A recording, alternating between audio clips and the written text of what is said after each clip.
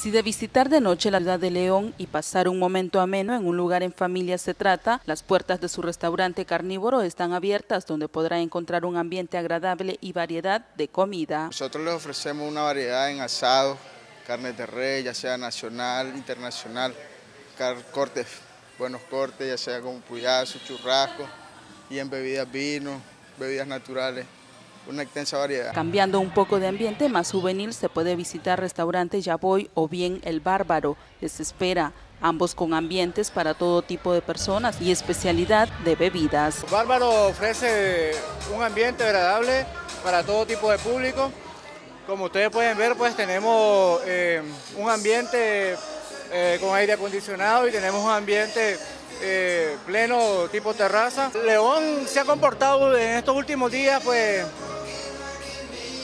diferente. El público que nos ha visitado, bastante turistas, bastante personas extranjeras.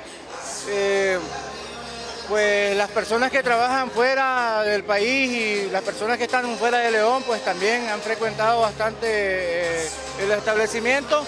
Pues diciembre nos dejó un buen gusto y pues ya entramos en enero pues y seguimos viendo pues que todavía hay movimiento. Pero si lo que desea es estar entre amigos y bailar, al otro lado te espera en el sector conocido como Zona Rosa, con un agradable ambiente para sus visitantes. Tenemos aproximadamente un mes, menos de un mes de haber abierto y hemos tenido una respuesta muy, muy, muy positiva de los clientes.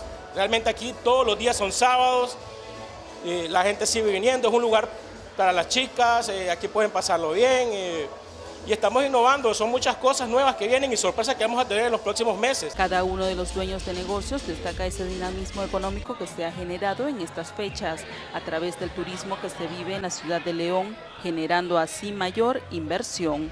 Desde León, Fátima Suazo, lo que se vive.